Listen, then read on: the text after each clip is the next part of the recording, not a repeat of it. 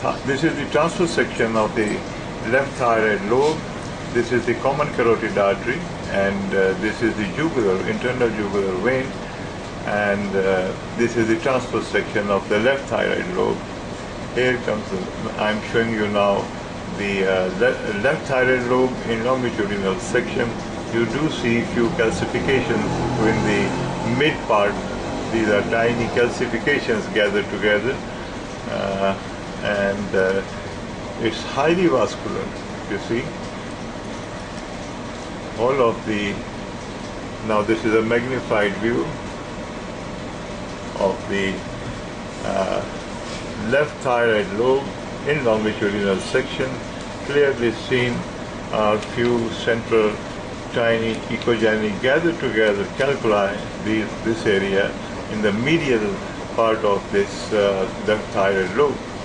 And the left thyroid is otherwise normal with no focal lesion. Uh, this is the common carotid artery, and here comes the uh, left thyroid gland. Lobe. Here it is, the magnified view. This is the common carotid artery, internal jugular vein, the transverse section of the left thyroid. This is the isthmus. This is the cartilage, and uh, the isthmus is normal. Here you see the this is the tracheal cartilage giving posterior shadow. Now I'm moving towards the right side of the uh, of this gland, and you see there is a solid uh, nodule, solid mass seen.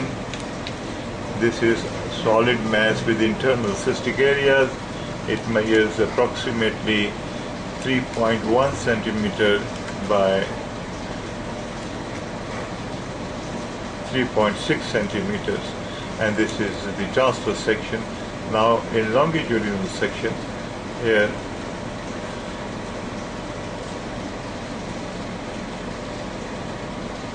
this is the longitudinal section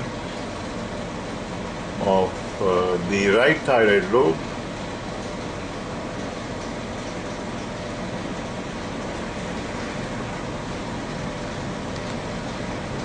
you see the configuration of this uh, uh, and the appearance it is solid with internal cystic areas. These are all internal cystic areas. Now the tissue of normal tissue rim of the normal tissue is is seen anterior to this uh, solid nodule in the right thyroid lobe. This is the normal rim of uh, thyroid tissue and this is the medial part of the gland here this is the medial part. So a large nodule cystic and solid in the right lobe of uh, the uh, thyroid showing you vascularity.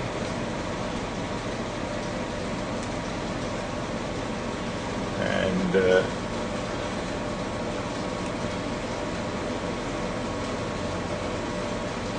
It's vascular. You see the vessels entering, entering within this uh,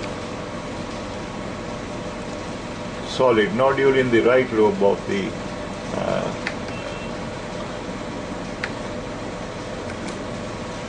thyroid gland, right lobe of the thyroid, with preserved anterior rim of uh, thyroid tissue this is the preserved part of the thyroid tissue measuring approximately 2.2 mm.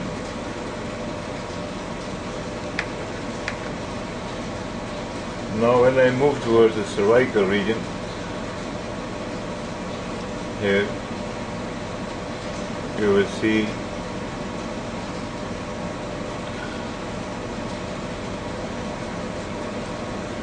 this one, these are the, this is the enlarged lymph node, this one. You see, this is the enlarged lymph node seen. Another one is here.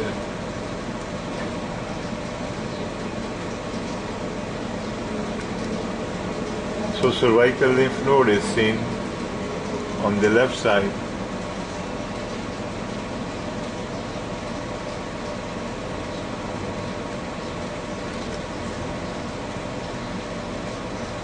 This one. This is and the central fat is preserved in this node. This is the lymph node with the central scar uh, echogenic line that of this is the representative of fat.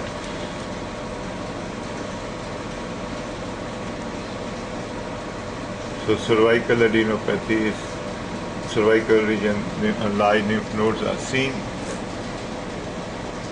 on the left side and if on the right side this is we were seeing on the right side sorry. Now this is the left side.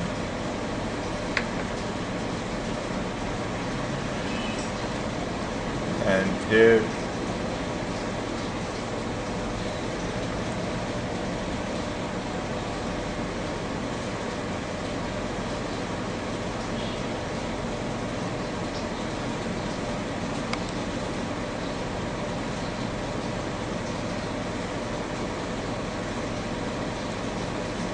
you see here one more enlightened node this one.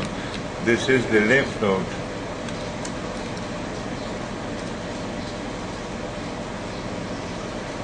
in the left cervical region. It does not change its shape. It's, it remains like that as it is So this is the lymph node. Again, you will see a central uh, uh, scar of fat within it. This is the lymph node. This is the lymph node. This is the central scar. So this is our case study of the day. Thank you very much.